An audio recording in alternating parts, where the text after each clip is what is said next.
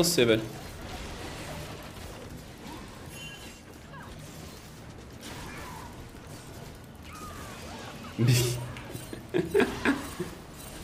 Aí é foda, vai chegar todo mundo aqui, velho. A gente tem muito pouco dano, mano.